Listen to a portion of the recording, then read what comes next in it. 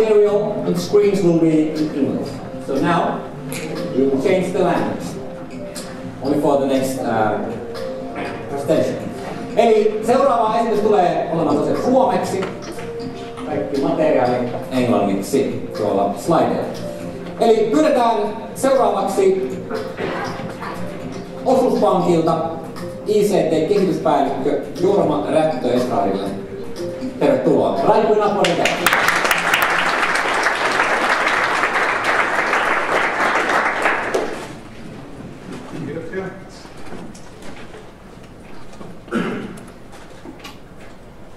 Herätellään kone vielä henkiin.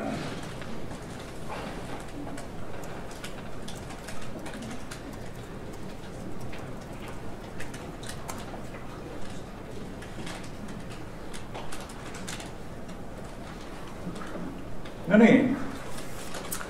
Mietin, kun Marko pyysi mua tänne puhumaan, että, että tota, mitä, mitä mä teille sanon.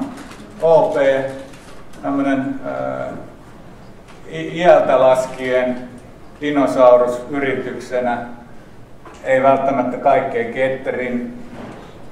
Mitä meillä on, mitä meillä on teille annettavaa? Näin mä ajattelin sitten, ehkä se meidän matka, mitä me ollaan käymässä, mitä me ollaan kulkemassa, niin ehkä siinä on jotain semmoista, mitä voi, voi teille jakaa ja mistä voitte saada tota, jotain ajatuksia.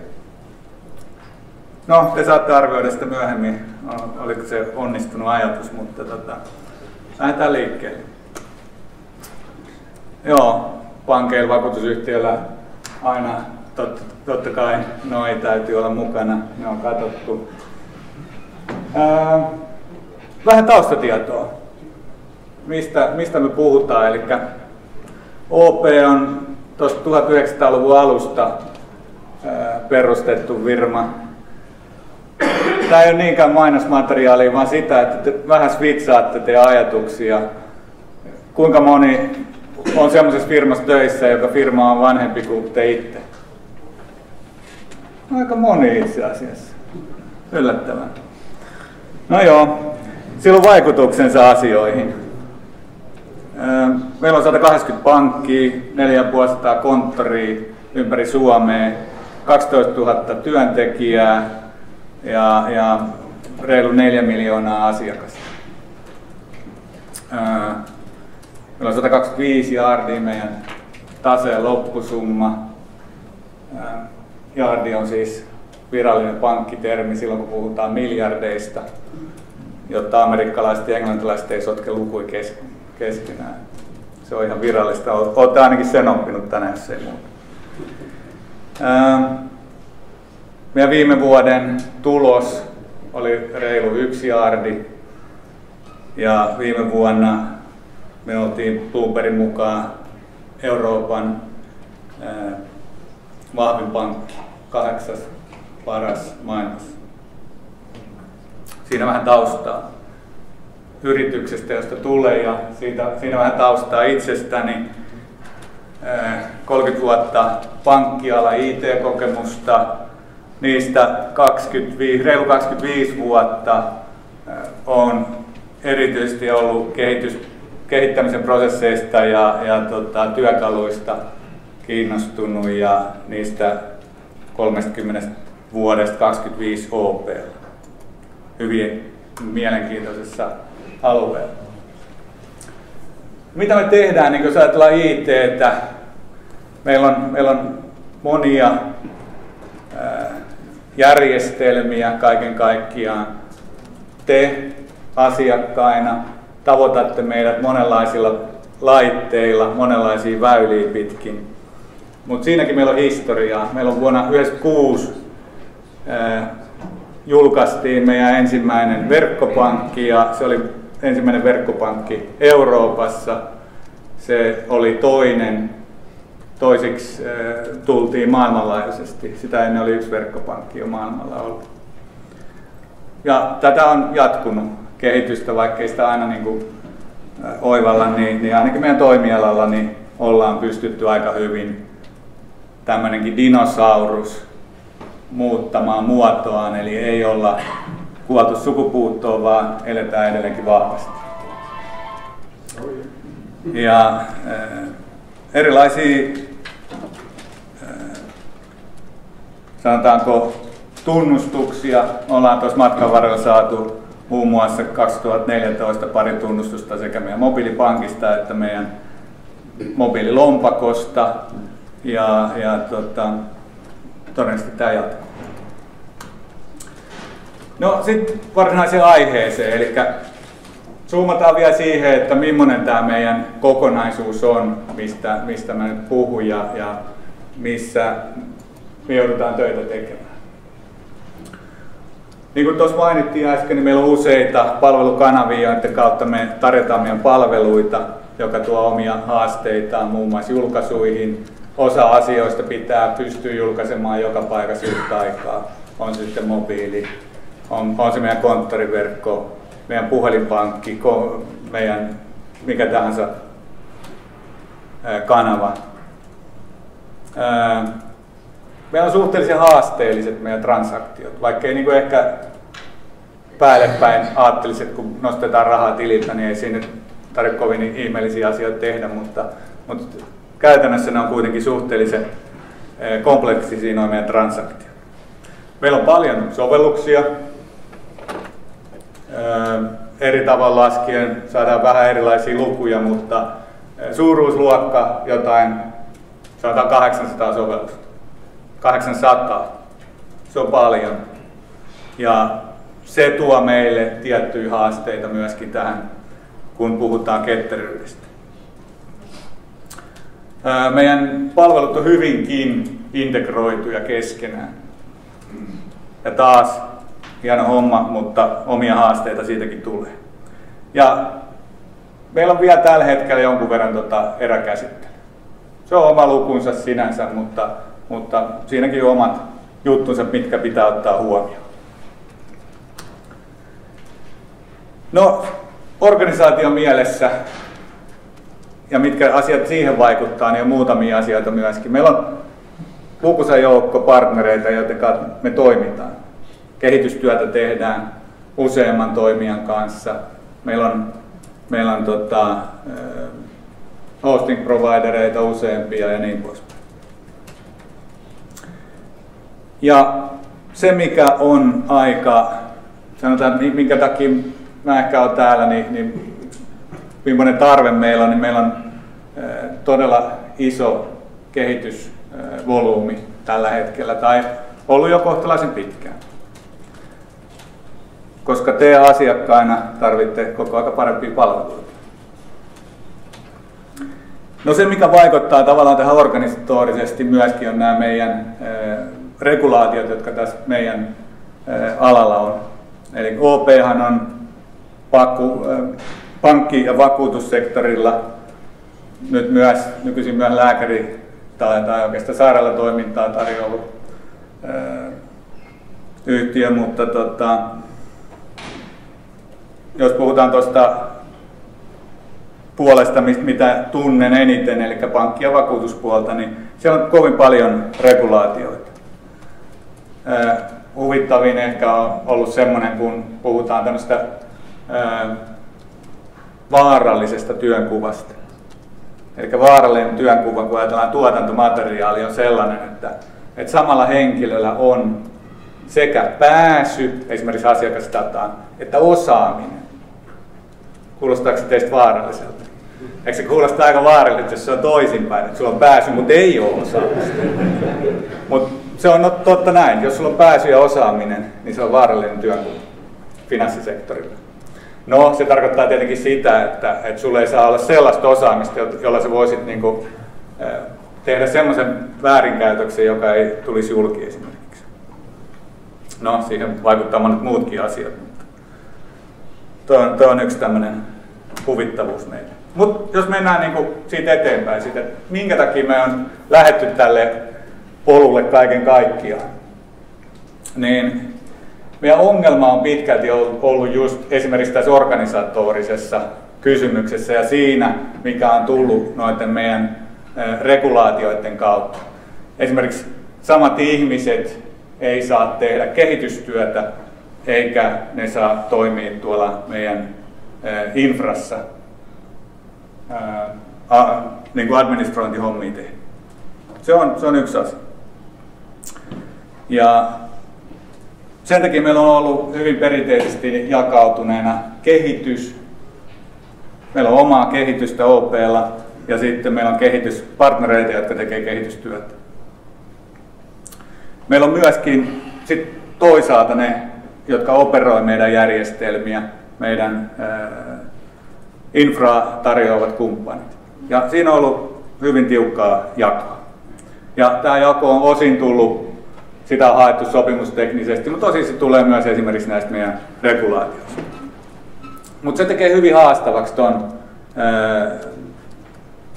leveän kaista sen kehittämisen.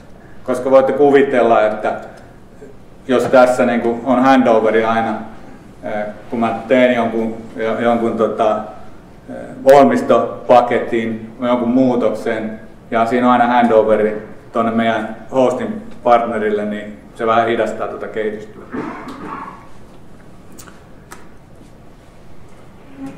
No, me lähdettiin ratkaisemaan tätä kymmenisen vuotta sitten siten, että me, me tota, meidän infratoimittaja ei niinkään ollut huolestunut tästä asiasta, koska heillä oli tähän tietenkin ratkaisu.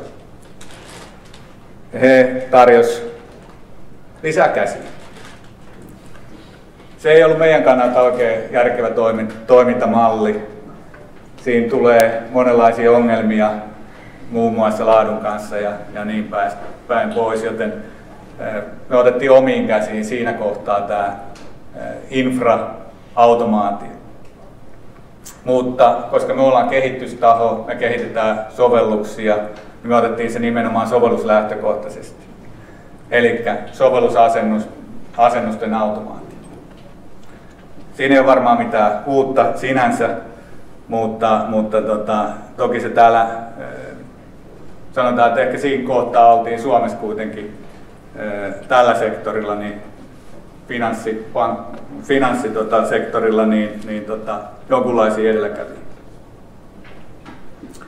Ja käytännössä tuossa on koko lailla se, miten me rakennettiin silloin tämä meidän, meidän kokonaiskuva. Aika tuttuu varmaan monen.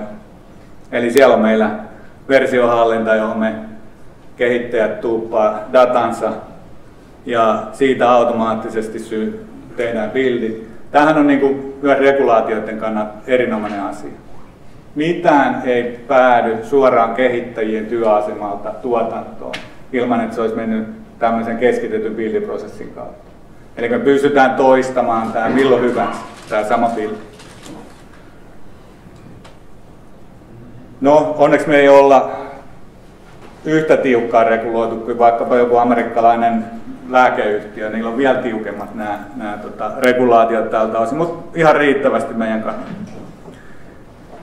No, bildit syntyy tai tehdään automaattisesti, siellä tehdään staattista koodianalyysiä, niin kuin tässä jo aamupäivälläkin kuultiin, että semmoisia laitteita on, niin joo, tuttu juttu. Ja sitten yksiköteisesti taetaan bildien ohessa. Ja nyt tästä täytyy muistaa taas se meidän tausta. 800 sovellusta. Osa voi olla, olla tota, yli 30 vuotta vanhoja, johtuen siitä, että miettikääpä vaikka teidän, että meitä hakee, no sanotaan henkivakuutus.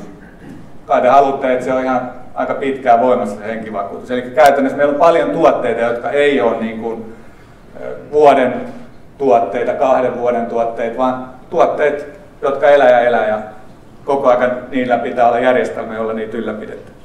Eikä niitä uusita ihan tosta vaan. No, eli tämä tausta silleen, että jos puhutaan vaikka yksikkötesteistä, niin meillä ei suinkaan kaikki sovellukset ole samalla linjalla. Kaikissa sovelluksissa, sovelluksissa ei ole 75 tai 80 prosentin yksikkötestikattavuus, mutta joissakin on. Ja kun me puhutaan esimerkiksi tuosta meidän verkkopankista, niin siinä on, siinä on monia osia, jotka on niin kuin erittäin hyvin, hyvinkin tehty tältä osin.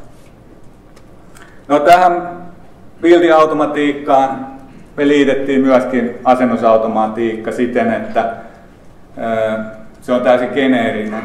Eli meidän sovelluksissa ei tarvi olla mitään muuta tietoa kuin se, että, että minkä tyyppinen joku komponentti on. Niin kun me tiedetään, mihin kohteeseen se on menossa, niin me tiedetään, miten se asennetaan. Ja toi on ihan kätevää, koska uusia sovelluksia, uusia komponentteja tulee jatkuvasti. Me ei, haluta, ei haluttu silloin niin kuin tohon meidän sovelluksiin kuormittaa tällä, tällä tai sovelluskehitystä kuormittaa sillä, että miten mihinkin alustalle asennukset tehdään.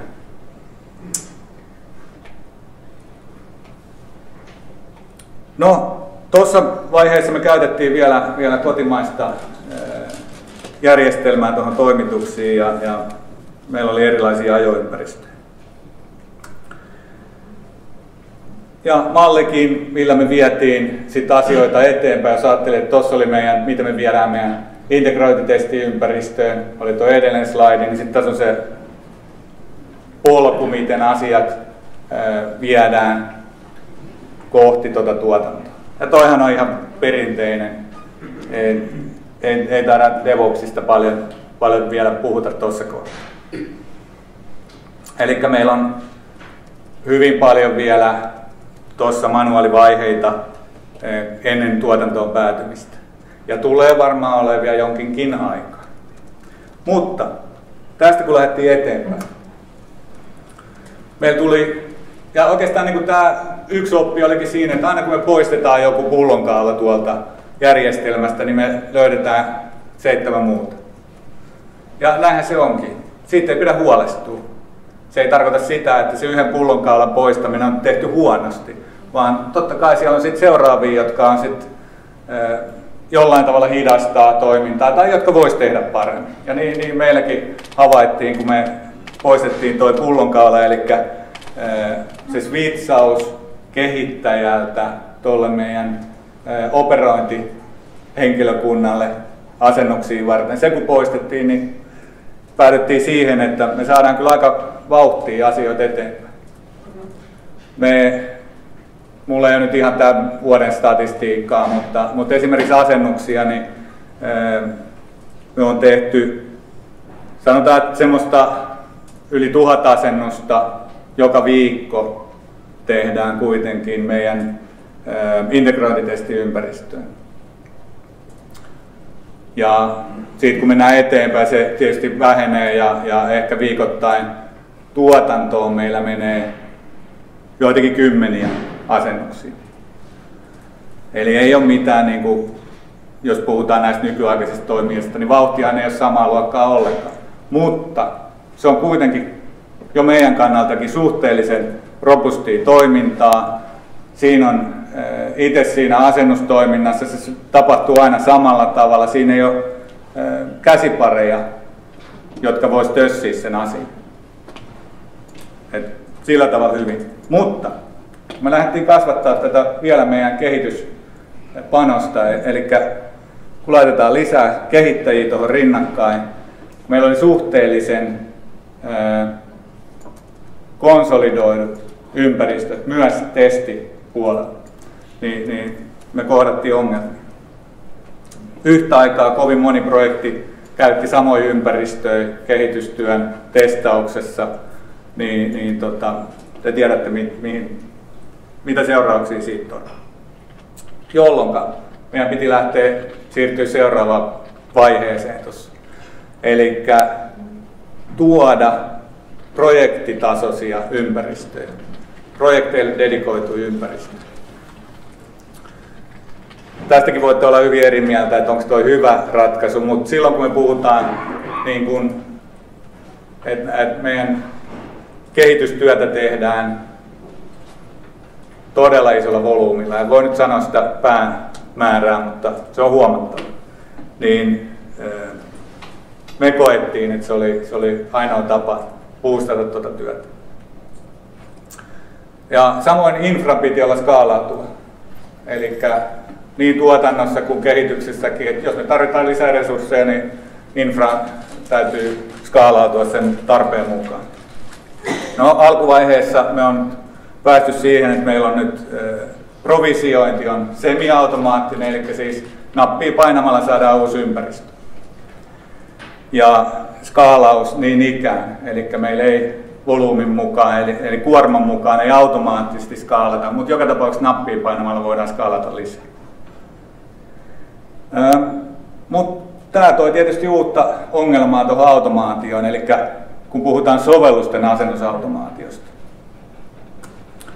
Ja sitä me lähdettiin ratkaisemaan sitten seuraavan sukupolven ratkaisuilla. Ja, ja, ja tota, no ensinnäkin toi meidän alusta, infra. Siinä me saatiin nyt meidän infratoimittaja mukaan. Eli infratoimittaja tarjoaa meille tuon provisioinnin tuonne meidän infraa ja, ja tota, samoin skaalaustoiminnallisuuden. Eli se löytyy niin kuin infrasta sinänsä pystytään käyttämään niitä ominaisuuksia. Ja no totta kai näitä konfiguraatioja pitää pystyä tekemään monella tasolla siellä ja erityisesti meidän pitää pystyä integroimaan meidän sovellusasennukset tähän infraan. Ja se oli luonnollinen jatkumo tuohon äskeiseen. Me lisättiin myös meidän kehityksen ennustettavuutta ja, ja sitä, että ne on mahdollisimman samankaltaisia nämä meidän tuotokset, niin tuo, tuomalla tämmöisen mallipohjaisen kehittämisen mukaan tähän meidän työhön. Eli projektit lähtee liikkeelle aina malleista, jotka tuottaa, tai, tai siihen päälle lähdetään sitten tekemään sitä varsinaista ohjelmistokehitystyötä.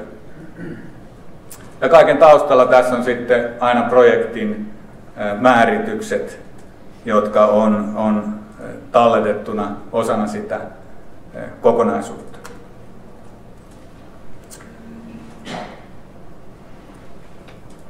No, mitä me ollaan, missä me ollaan nyt oikeastaan, mikä on meidän tulevaisuus, niin me ollaan äh, tuomassa nyt meidän näitä eri osapuolia, mistä mä alussa puhuin, on kehittäminen ja operointi ja varsin äh,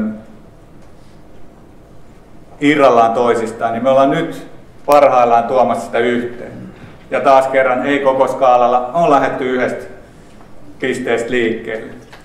Ja, ja tota, siitä on ihan hyviä, ää, olisiko sanoa tämmöisiä ensi makuja tullut, eli tota, me saadaan asioita tehtyä, pystytään määrittelemään yhdessä, mikä on meille tärkeää, ja sitten saadaan niitä asioita vietyä maaliin.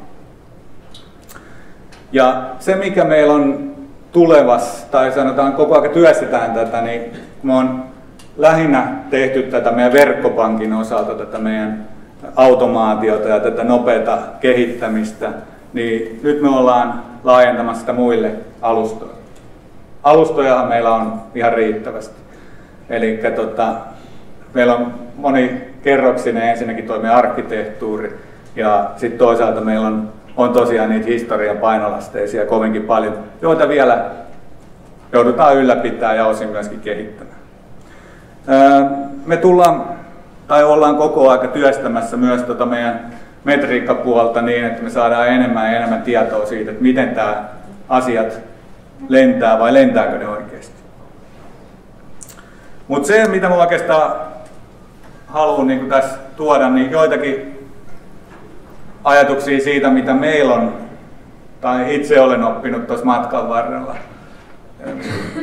Jos olette itse taivaltamassa, niin, niin ehkä, ehkä semmoisia juttuja, joita voitte miettiä. Jokaisella organisaatiollahan on omat asiansa, jokaisessa järjestelmärakenteella on omat asiansa, miten, mitkä siihen vaikuttaa. Meillä on ollut tämä historia, mikä on osin sitä ollut paljonkin vaikuttamassa meidän toimintaan. Mutta joka tapauksessa niin toki kannattaa lähteä niistä isoista ongelmista ja ennen kaikkea niin, että joita voi helposti ratkaista. Älkää lähtekö siitä isosta ongelmasta, mikä ei ole ratkaistavissa jostain syystä. Siitä ei kannata lähteä, vaan pitää hakea nopeita voittoja. Se on ainakin meillä ollut yksi semmoinen hyvä, hyvä tota, hyväksi koettu tapa. Ja iteraatio myös siinä, kun lähdetään menee kohti tätä DevOpsia, ei kannata haukata siinäkään turha isoa palaa, tehdä vaan sinnikkäästi sitä perustyötä ja viedä asioita eteenpäin. Sitten oikeastaan tuo mun lemppari, että, että tota, paras ratkaisu ei useinkaan ole, ole, tai sanotaan, että se on huonompi kuin tuo toimiva ratkaisu. Aika paljon on niitä, jotka, joilla on noita pilvilinnoja. Pilvilinnoissa tota, on tietysti hinnat on aika halpoja ja unelmia saa ilmaiseksi, mutta tota, oikeasti miettikää mikä toimii. Tehkää semmoisia ratkaisuja. Jos saatte jonkun asian toimimaan, niin se on hyvä. Oli se sitten jonkun kirjan mukainen tai ei. Sitten toi on mun mielestä tärkeää, että, että saadaan kunnollinen ydintiimi, joka vie asioita eteenpäin.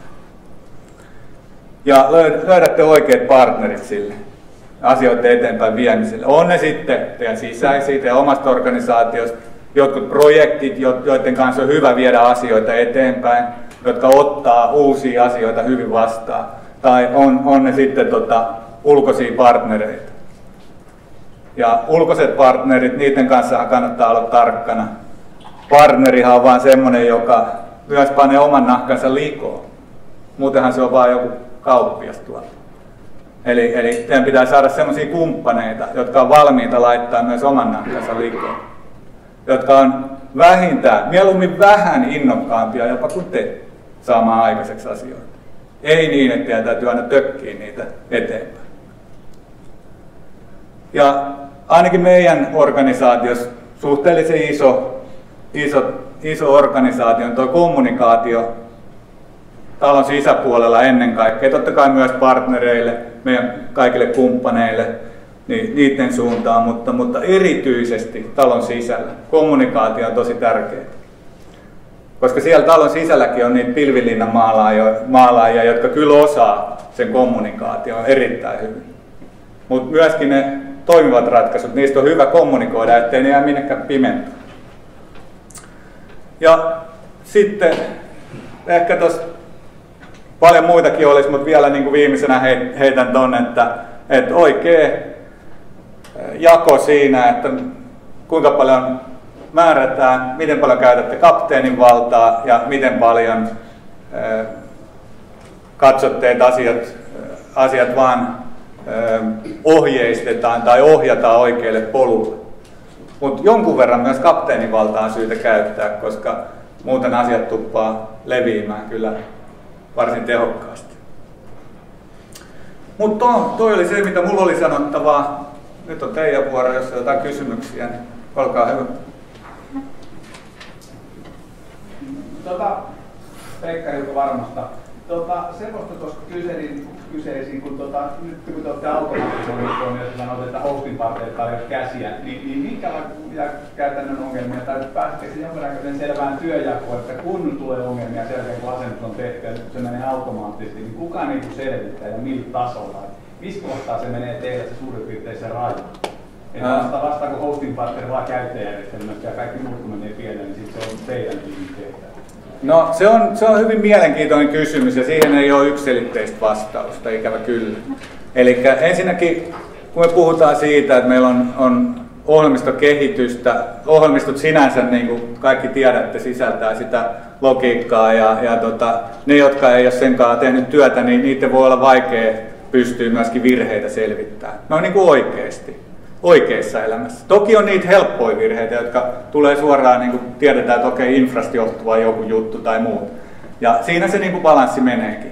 Et silloin kun me puhutaan ongelmista, niin, niin ensinnäkin, jos ei se ongelma ratkee noin, niin silloin pitää lyödä päät yhteen.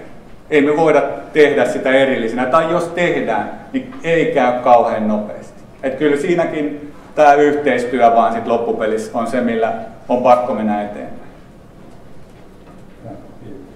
Olenko muita? Tota, mobiilimaksaminen edelleenkin jossain kaupassa niin ohjautuu vielä perussivustolle vielä. Miten se voi olla taustalla, että ei ole mobiilisovellukselle Jaa, nyt, nyt heitit pahan. Varmaan hyvä kysymys. Tuo innokas käsi nousi pystyy. Se itse asiassa on pivossa nykyään. Okei. Okay. OPlla. Okei, Kuin just okay, eilen maksat, nimittäin. maksat, maksat niin kuin verkkokaupassa ja se ohjautuu sivuille. Joo, sä et voi vaikuttaa siihen millään lailla.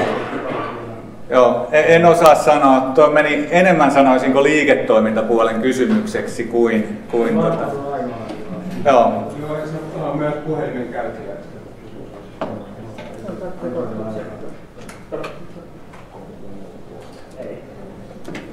Ole hyvä. Tota, Tervetuloa Sami Sonelassa terve. Tota, sulla mitään hopealuotia heimojen yhdistämisessä? Eli tähän saadaan tekemään yhdessä asioita. Mulla ei ole siihen. Varmaan täältä löytyy semmoisiakin, kellä on, mutta tota, mulla ei ole muuta kuin se, että tota, kyllä, kyllä tota, tämä kommunikaatio, mä näen sen hyvin tärkeänä. Ää, ei, ei, laiteta, ei tehdä vastakkainasettelua, vaan lähdetään viemään sitä yhteistyössä eteenpäin. Ja, ja kyllä se kommunikaatio siinä mun mielestä on semmoinen, semmoinen tärkeä tekijä. To- Tuohon liittyvä myös jatkokysymys, eli onko teillä tai äh, aikaa annetaan tästä nyt, nyt äh, jos hyviä ideoita tai tämä on hyvä työkalu katsotaan siitä, niin onko siellä tähän tämmöistä niin jotenkin rakennetta tähän ympärille vai onko se aina samaa ylämäkeen taistelua tai luistelua, niin kuin mä oon kokenut. Siis tarkoitatko, että jo... Mandaattina on ylhäältä, eli täällä on vapaus tehdä tämmöistä, niin kuin, joka hyödyttää koko OPta. Okei.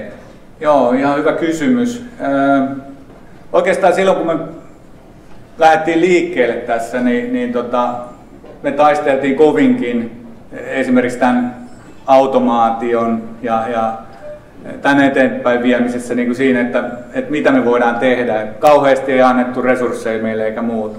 Mutta nyt tota, puhutaan DevOpsista, niin nämä meidän kaiken maailman kumppanit on tehnyt sen niin tiettäväksi. Ja ne on myynyt niin meidän johtajille tänne, hei, nyt tämä elämä on paljon helpompaa siltä osin.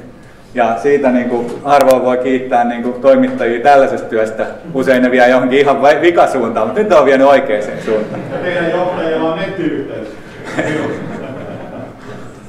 No joo, en tiedä oliko hyvä vastaus vai huono, mutta tota, Joo, ei, siis äh, olen huomannut samaa, että se ei ole ainakin ylemmällä tasolla kuin ennen kymmenen vuotta sitten sanotaan, on, niin nyt on paljon enemmän tietoisuutta kyllä. Joo, Jarkko VR. Tota, ää, silloin kun lähdet pistämään työkalut pystyyn teille tekemään tätä, tätä ää, alustauudistusta tai alusta työkaluudistusta, niin tota, oliko teillä silloin projektoitu tämä tää työ ja oliko teillä selkeät tavoitetilat niin kuin tämä stage, mitä teillä oli tässä kohtaa, oliko se? Ö, tota, joo, me, silloin kun me lähdettiin sitä ensimmäistä tekemään, niin me projektoitiin se kyllä. Ö, ja meillä oli tavoitteita, me, jo, joita me aika lailla itse kyllä, kyllä keksittiin niitä tavoitteita itsellemme. Koska, no, me oltiin toki nähty, että mitä on meidän ongelmat, ja me halusin, haluttiin niitä taklata. Et kyllä meillä toki oli tavoitteita silloin alkuvaiheessa, kun lähdettiin liikkeelle, ja pitkälti ne on ollut noita samoja, tai siis sanotaan, ni, niitä tavoitteita sitten taklattiin, ja, ja tota, näin on menty eteenpäin. Täällä oli vielä joulta.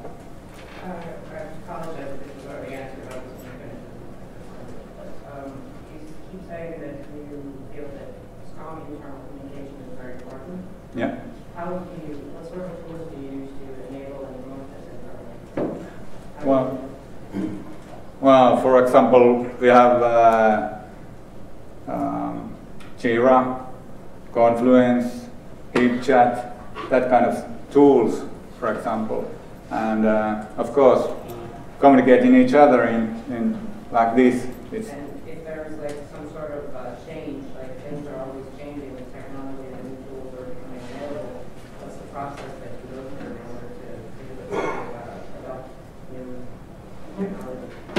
uh, okay, this Joo.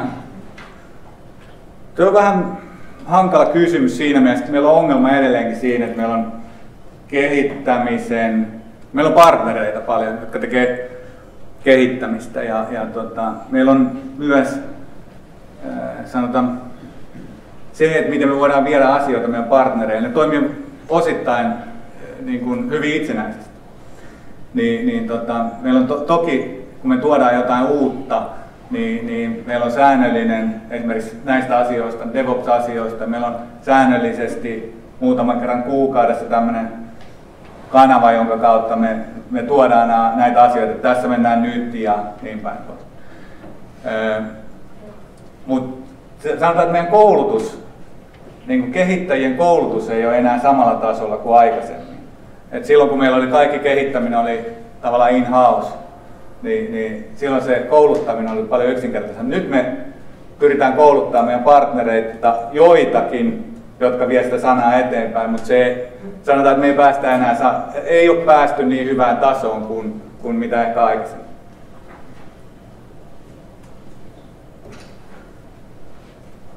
Vielä Andre. Miten saatte tämän sen piiskattua tähän maailmaan? Ähm, Että Joo, kyllä. Tuo oli hyvä kysymys ja tota, kyllä me siitä keskustelua käytiin kovasti ja, ja tuotiin esiin sitä, että mikä on meidän näkemys, että millä tavalla niin kuin he voivat elää vielä niin kuin viidenkin vuoden päästä. Ja ehkä siinä oli jonkunlainen oivallus sit sieltäkin tuli sit sieltä infratoimittajan puolelta, että hetkinen, että voi olla, että business siirtyy vähän. Ja jos emme olla siinä mukana, niin me ei olla sitten mukana. Ja, ja tota, sieltä tämmöinen oivallus sieltä sitten pikkuhiljaa tuli, mutta ei se, ei se helppoa ollut. Menikö uhkailun puolella? En tunnusta.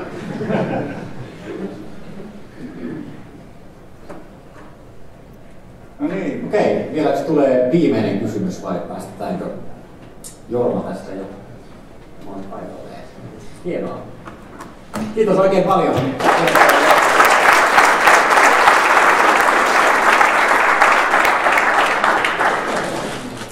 Okei, kello on sen verran paljon, että meillä on vielä illan